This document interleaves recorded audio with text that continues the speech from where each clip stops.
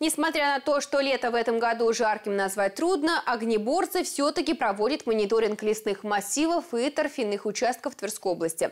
Были ли выявлены очаги природных пожаров, расскажем в сюжете прямо сейчас.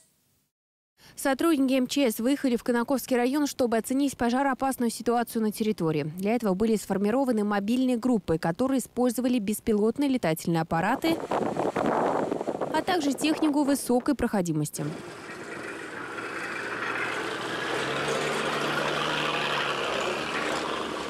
Основная цель мониторинга – предупредить природные пожары. Он проводится ежедневно во избежание неблагоприятного развития ситуации в регионе, которая может обостриться даже при невысоких температурных показателях. Тушить его намного сложнее. Каждый комочек необходимо разбить. Вот даже вот,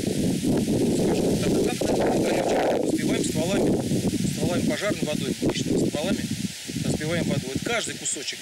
На он рыхлый, то есть получается как бы каша. Вот. А здесь вот каждый кусок, даже вот такой, даже если вот такой отскочит вот, при большой напоре, все, он уже будет тлеть.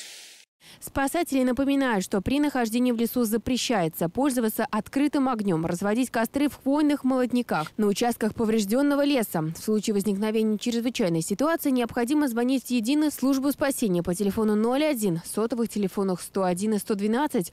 По итогам мониторинга лесных массивов и торфяных участков в этот раз очагов тления торфа обнаружено не было.